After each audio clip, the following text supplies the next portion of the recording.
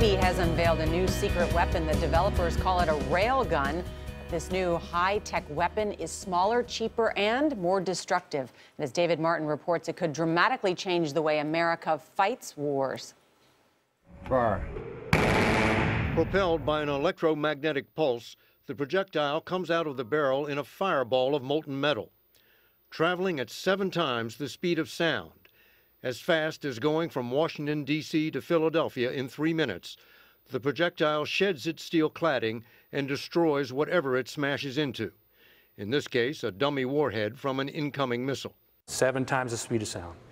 And oh, by the way, we can probably carry, oh, hundreds and hundreds and hundreds of these on our ships.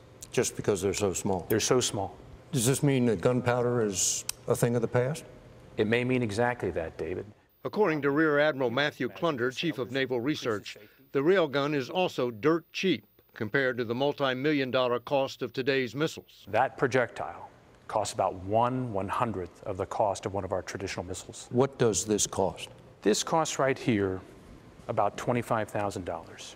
There's an electronic guidance system inside so it can be fired at moving targets. This gun and the projectile round take care of any threat that flies in the sky. It could be a ballistic missile, it could be a cruise missile, it could be a threatening aircraft. Traveling at Mach 7, it can also pierce three walls of reinforced concrete. This is a lab gun, and it shoots a slug about this big.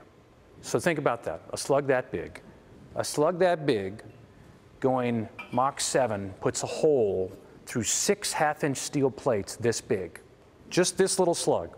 Went through all of these. All six of those. The railgun is scheduled to go to sea for the first time in 2016 aboard this cargo ship for further testing. It's still just a potential weapon, but one that could break the seemingly endless cycle of each new generation being more expensive than the last. For CBS This Morning, David Martin at the Naval Research Laboratory. I mean, promising, but also incredibly scary. Yeah, I missed the science behind it, but very impressive. Yeah, the Navy ain't And playing. scary.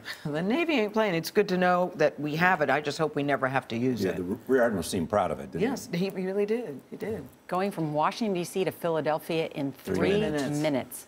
Cut through six half-inch steel plates. Incredible.